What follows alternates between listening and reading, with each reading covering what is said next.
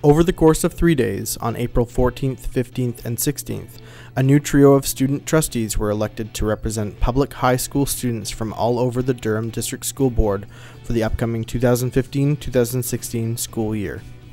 The first election was held at Dunbarton High School in Pickering, where Melanie Manning was elected by her peers to represent the voice of Pickering Ajax students.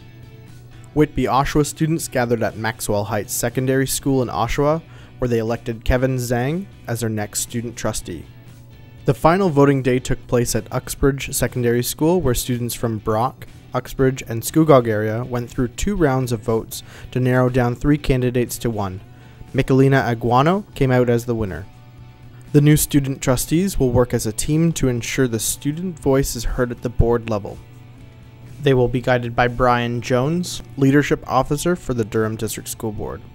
The current trustees will remain in their present positions until August, when Melanie, Kevin, and Michelina take on their new leadership roles within the school community.